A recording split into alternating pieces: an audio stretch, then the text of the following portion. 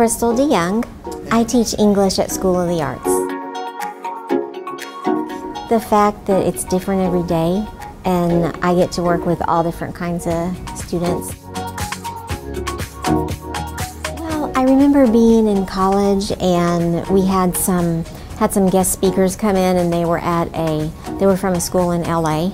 The school was primarily made up of at-risk kids and they were doing tremendous things with these kids and it just really spoke to me and I thought I want to do something like that. I want to make a difference in one person's life and then another person's life.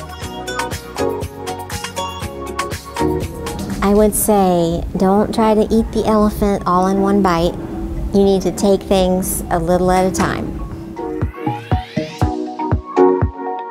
I uh, was a stay-at-home mom. I had taught uh, previously, but then I was at home for an extended time and I homeschooled my own kids.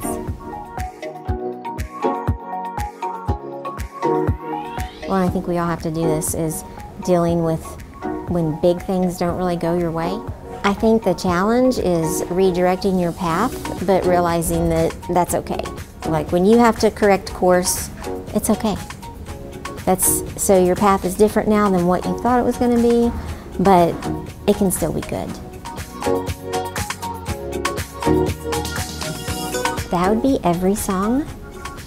I sing all the time, so much that uh, my family asked me to be quiet.